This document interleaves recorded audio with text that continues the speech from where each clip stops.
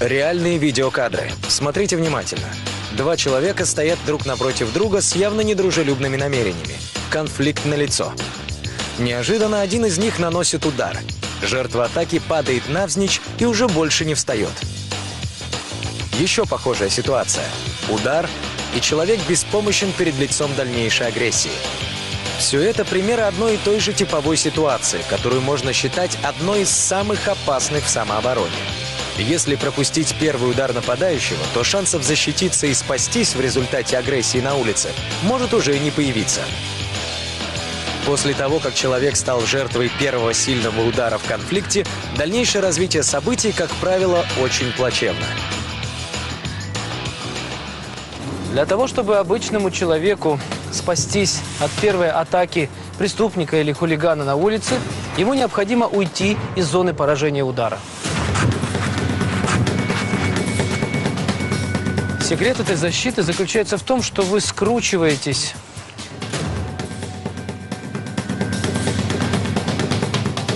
и уходите из-под удара, делая небольшой шаг назад ногой или в сторону. Причем таким образом можно уходить не только от удара кулаком, но и от удара ногой.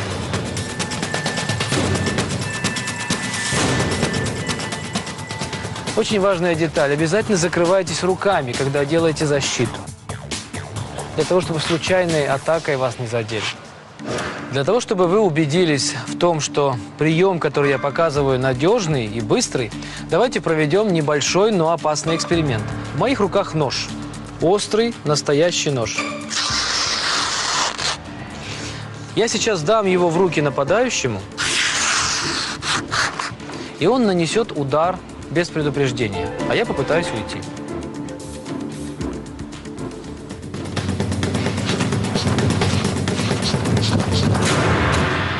Как видите, этот прием защиты достаточно надежен, поэтому если вы дорожите своей жизнью, изучите это движение. В боевых искусствах стремление постичь науку неотразимого первого удара и защиты от него выразилось в уникальном искусстве – иайдо или иайдзюцу.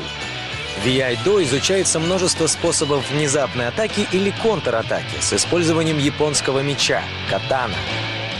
Причем акцент делается не на фехтование, а именно на мгновенное поражение противника с изначально вложенным в ножны мечом. Под мгновенной атакой понимается быстрое обнажение меча с последующим нанесением удара при возникновении опасности. Одновременно с искусством нанесения первого удара мастера яйдо изучают и мгновенную защиту от неожиданной атаки. Обратите внимание, насколько такие условия поединка напоминают современную ситуацию в самообороне, когда важно уметь защититься от первого удара нападающего хулигана или преступника, чтобы выжить на улице. Итак, тем, кто не готов к конфликту на улице, подходят самые простые приемы безопасности и самообороны. Но если вы чувствуете в себе силы, вам может показаться интересной штурмовая техника боя и самообороны.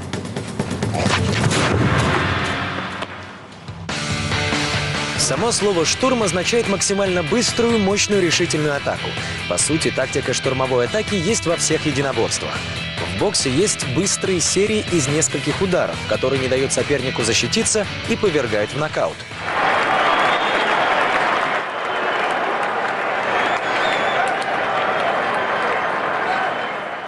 В любой борьбе быстрая атака на позицию противника и бросок, или удержание до победы. な 自分からのも一番ありうわーっと行くぞカレリリフトだ В восточных стилях боевых искусств есть примеры, когда боец непрерывно атакует ударами, не давая возможности противнику опомниться и что-то предпринять для защиты.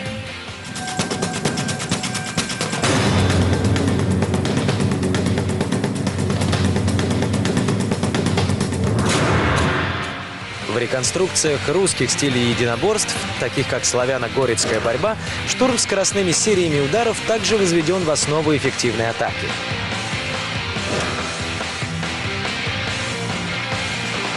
Все это штурмовая тактика боя, которая позволяет успешно атаковать и защищаться не только в условиях спортзала, но и на улице.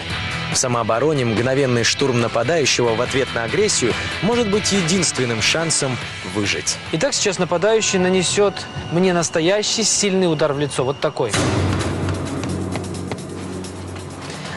А я покажу штурмовой прием защиты от этой атаки.